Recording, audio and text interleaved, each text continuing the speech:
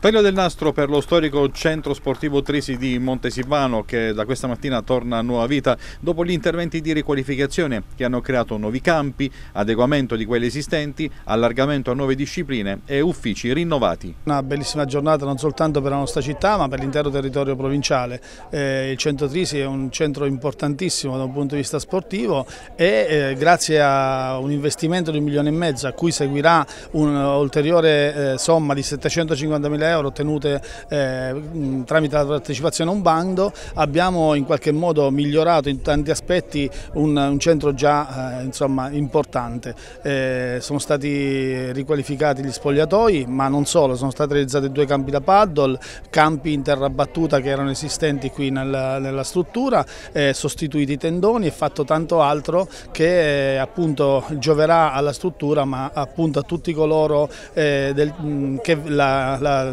la frequenteranno. La gestione dell'impianto è stata assegnata all'azienda speciale di Montesivano perché il centro sportivo deve essere anche punto di riferimento per la socializzazione. Sarà una, una sfida perché ovviamente è la prima volta che eh, ci cimentiamo insomma, in questo ambiente, però eh, abbiamo già eh, molta motivazione all'interno della squadra che abbiamo costituito e quindi vogliamo e abbiamo raccolto questa, questa, questa bellissima sfida e speriamo che insomma, questo, questo luogo eh, non sia soltanto un luogo di sport ma anche di aggregazione, di integrazione e, e di scambio e di crescita, quindi senza limiti di età dai bambini agli anziani, anzi dove magari nonno e nipote possano svolgere delle attività sportive insieme e anche momenti insomma, ricreativi. Ecco. Sindaco, chi insomma, è, è, giusto ringraziare per una giornata come questa? Eh, sicuramente il settore tecnico, il dirigente, il, eh, il, tecnico comunale Mirko Parlione che ha seguito i lavori, le ditte che si sono alternate, l'azienda speciale appunto che ha seguito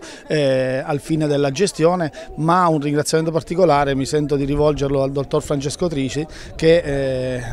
tanti anni fa insomma, ha voluto realizzare questa struttura e una volta deceduto ha regalato insomma, alla città eh, e al comune questo eh, bellissimo centro.